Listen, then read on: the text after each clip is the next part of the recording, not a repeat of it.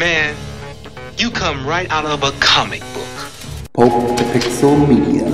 Exploring the media multiverse of geek culture. He meddled in things.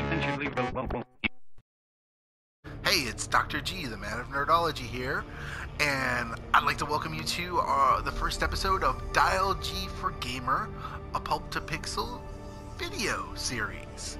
Uh, today I am moving Dial G from Gamer beyond its original roots as a podcast. So, those of you who are aware of this, you've probably heard these, but if not, you can check those out at pulptopixel.com, uh, where you can find back episodes of Dial G for Gamer. And where Di- in Dial G for Gamer, we explore the media multiverse of geek culture in regards to superhero gaming and gaming in general, mainly tabletop and role playing games. Now, today I am jumping into our latest uh, superhero role playing game that is one of my favorites, and one I haven't talked on the podcast, but I thought would be more apropos in video, and that was DC Universe Online.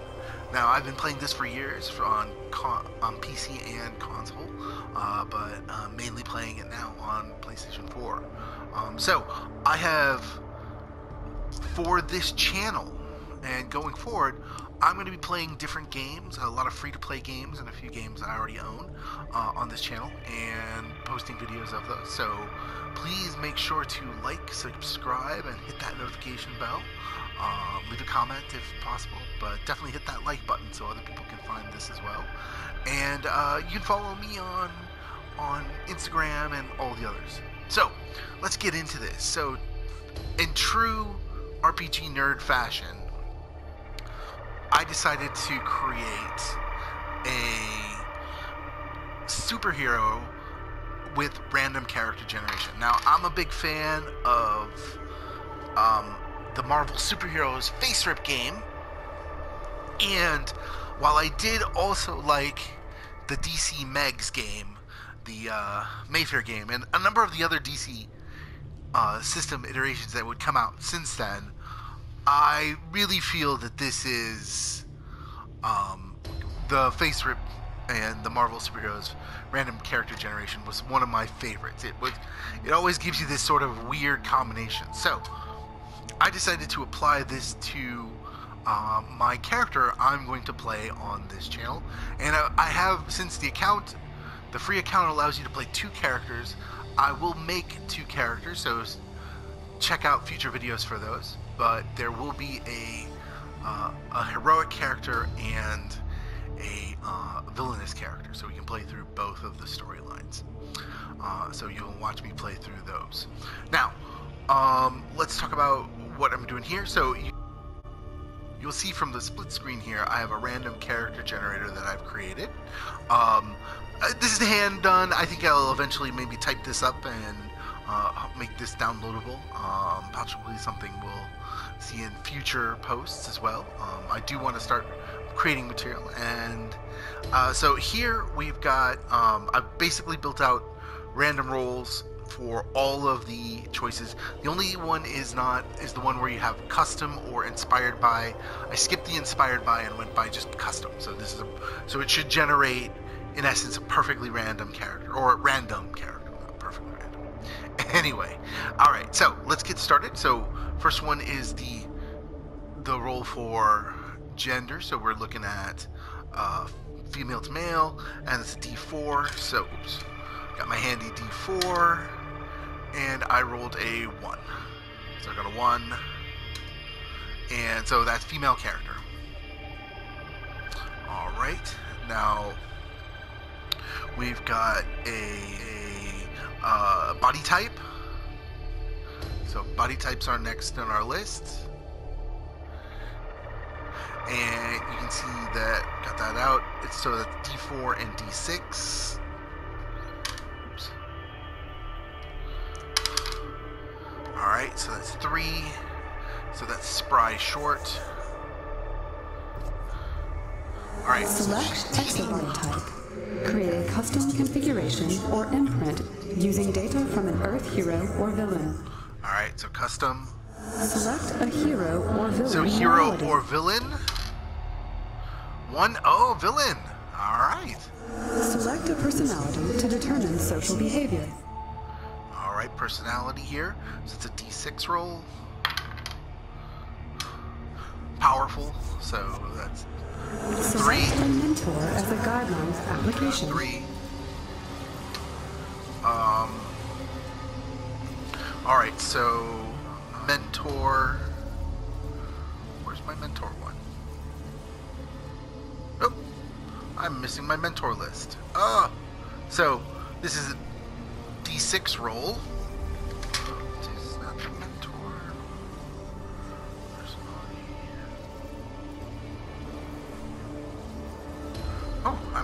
Something up. Well, there's a. you can see my older one here. This is this is definitely uh, uh, hacking your game systems up. So uh, one to two ma- magic, three to four meta, and uh, five to six tech. One magic. So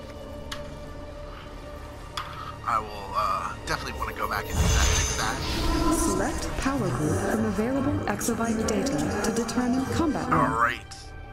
All right, So these are fixed, however. so this is not a problem. Okay, so let's check. Now, I did. While I, this is the free version I'm playing, and I'm not planning to spend any money on this, I did open spend initially some to make sure to have the full selection of powers and the full selection of uh, movement types, so that it would be able to play all the parts of the game um, with at least all of the character build options. Okay, so personality. Uh, we did power. Oh, sorry. Select power. So power's up here. So that's so that is D6 and D10. So four, uh, 15. Atomic. Oh. Now that's cool. I've not had that power very often. So Select movement mode. Oh, it's kind of like I don't know, almost like a mystical atom. All right, and then let's do movement mode. So that was a D6. Uh, six skimming. Oh, I actually like atomic and skimming and little. Select weapon All right. specialty from available data.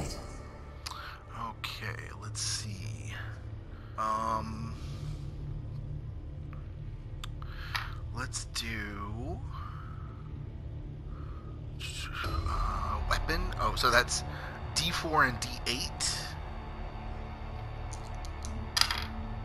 So that I got a one and a two, so three.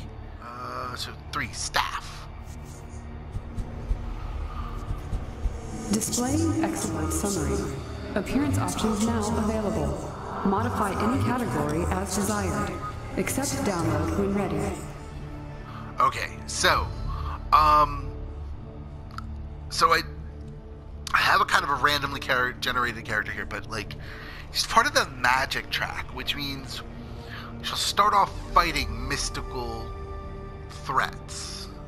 Um, but she's got like atomic and a staff and hmm. I'm trying to think of I could play this character as. Because, you know, I see all of those other things, and I think actually I'm going to go back. Alright, so as always, you should always play Rule Zero when you're playing your role playing games. And with Rule Zero, I'm going to go with Meta. Select power group from available So meta. data to determine. So I, I give myself one do over. Select weapon specialty from available data.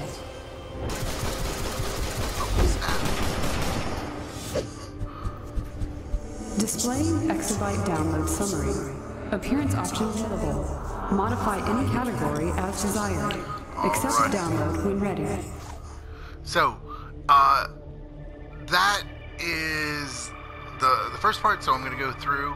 Uh, so probably montage this part into a bit of a speed drawing to build it, but uh, here we go. All right, so let's start with. So here we're to go through, and this is my character creation. Um, so I did switch the character halfway through. Um, originally, I wanted to have a very tech-based character, so I went with robotics as the the robot as like the base form. Um, but as I kind of like played through this, um, I definitely wanted to try. Um, so I had a character that I created a long time ago for uh, an art project I was kind of working on at the time that never really kind of finished. So this is kind of me coming back to it. But um, I created a character who was kind of based on a friend of mine who was quite short and was uh, sort of atomic pa- based powerhouse, sort of like a character, but this sort of like squat, kind of like Al Pratt of the uh, the uh, Atom from uh, the Golden Age and uh, the JSA. So I'm kind of going a little for that design, but um, originally I went for robot because I thought like micronauts. So I was thinking some sort of like being potentially mechanical or some other thing from uh, a microverse as an origin for her, in, at least in this context, in this setup. Um, so I'm kind of going for this sort of like uh, Kirby-esque tech sort of a vibe, but I want a lot of like um, showing the inhuman nature. So like that's why I'm going with sleeveless and, and legless uh, uh, costume pieces. Um, definitely picking a very like what I felt was a very 90s, 80s and 90s like pastel um, and like highlighter sort of esque color scheme. Uh, made me think Teenage Mutant Ninja Turtles every time I thought of it. So or like different types of mecha from uh, Robotech. So that was why I picked those colors. And it's kind of coming together, but I'm not really liking the